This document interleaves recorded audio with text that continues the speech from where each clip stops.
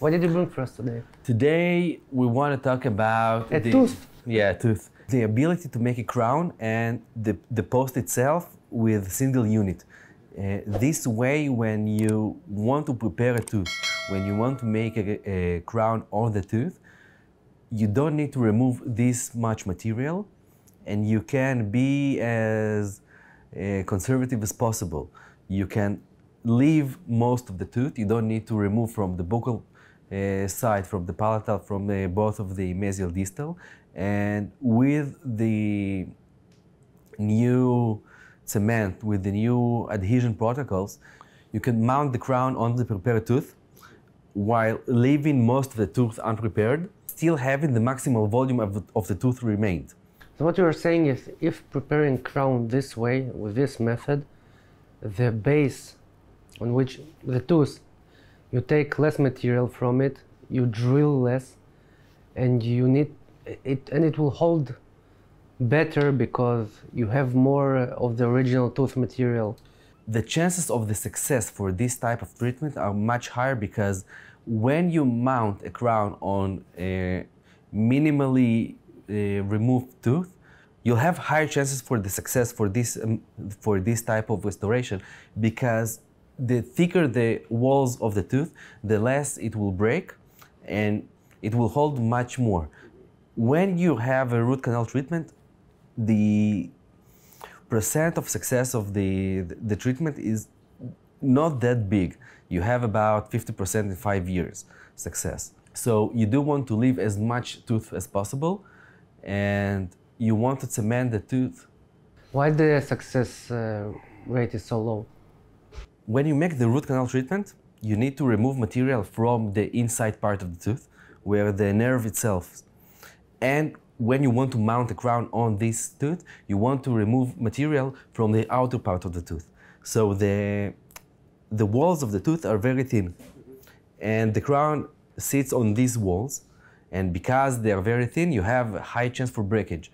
Uh, and most of the times what you have is root fracture on those kind of teeth. For example, in premolars, you have it in very high percent, percentage.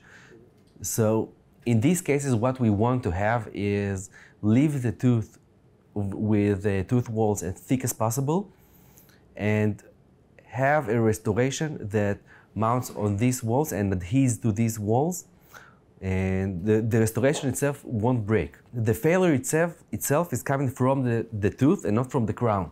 Can you make uh, this method that you leave most of the original tooth in each uh, area, like in canines also? if you have the ability to keep the, the tooth dry, yeah, without any moisture, without any saliva, without blood, you can cement the crown on the tooth with the post, with the core in one piece, and you'll have it's it's like making an inlay or onlay on this tooth.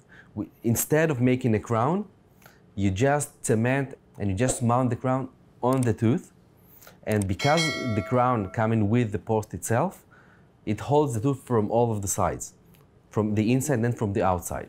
And the core that is added to the crown, Yeah. how do you calculate its size? You can either uh, make impression any traditional way, or you, right now what we do is we scan the tooth from the outside and the inside because the scanner itself, the intraoral scanner, it has about a depth view of 20 millimeters.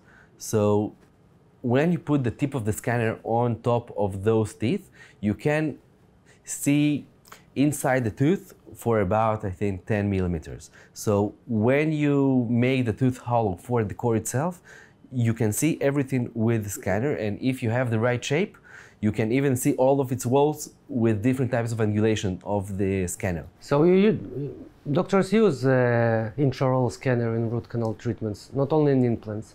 There are other uses. Yeah, you, you're using more and more intraoral scanner in root canal treatments because instead of making traditional impression and then uh, scanning the impression itself, in here you don't have anything that's moving. You, you already have the, the tooth itself and you have the inside part. If you don't have any uh, saliva, any blood, you can scan it. Excellent. So if you made a root canal treatment, you clean the tooth, you make it dry, and you just scan it as it is. This is mounted already, the new Yeah, crown. this is the crown mounted. You can see that the, the crown itself is glazed uh, in the color of the tooth, and you don't see any line that separates between the tooth and the crown itself. So uh, you have here perfect adhesion. You don't have any aesthetical problems. This line that you're talking about, it's another failure point that can be another failure Yeah. point. It, it can be, but if you have good adhesion, if you have good preparation of the tooth, it won't be.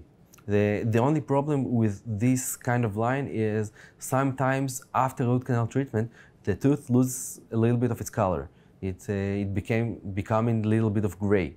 So this can be an aesthetical problem. So in this case, maybe you want in the buccal side to remove a little bit more from the tooth because you want to restore the uh, the aesthetical part of the tooth, but you'll have horizontal seats for the crown itself. You won't have any possibility for the crown to break the root to two. Thank you for being with us. You're welcome. And thank you for being with us.